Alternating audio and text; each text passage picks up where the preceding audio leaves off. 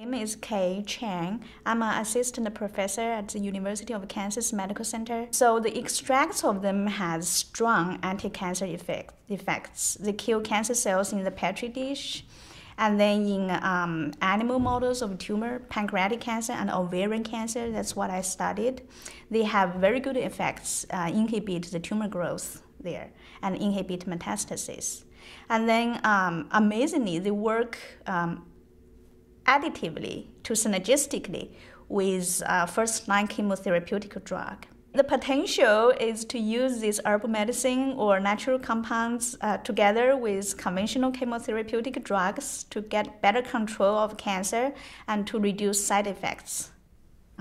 Beljanski has been uh, very helpful funding this line of research and been very active uh, to fund uh, my own specific research in the herb extracts. Yeah, I very appreciate that. So never give up hope. I think patients, uh, for their own good, should look up uh, the botanical medicine that has been so well documented.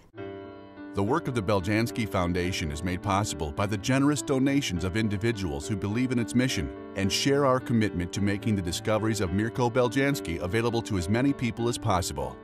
To show your support, please visit www.beljanski.org.